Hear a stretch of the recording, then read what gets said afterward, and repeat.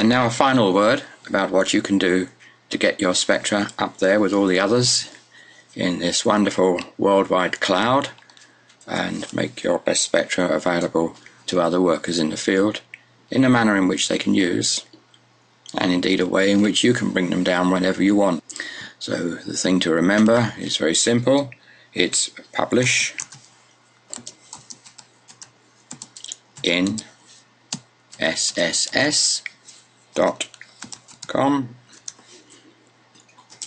and that brings you to the screen for Surface Science Spectra. You'll get a login. If you haven't registered already, you need to be guided to the registration page. If you have a login, I'll, uh, I'll just use mine.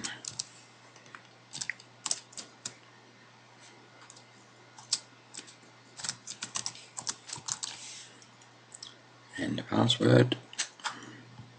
And we'll log in. And from there onwards, you just need to be guided.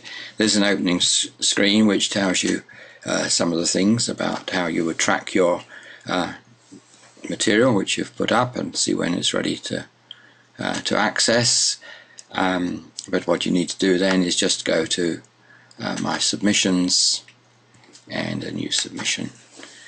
And there you get everything you need uh, to put in the overview of your material, the authors, keywords, elements you're dealing with, references.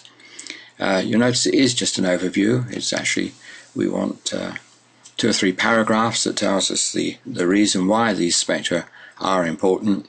And then, so we'll do a, a title, uh, test spectra, and um, and we'll be ready to, to now to talk about our specimens.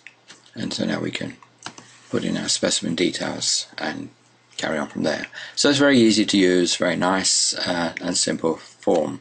You'll notice it is actually for AES and XPS uh, data only at this stage. Um, a web-based contributors form for SIMS is under preparation and we hope to have that up and running in 2012.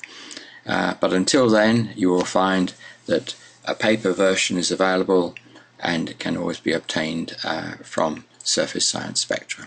Uh, so with that, I hope you've enjoyed this presentation and we do hope that before long you'll be uploading Spectra to our wonderful journal.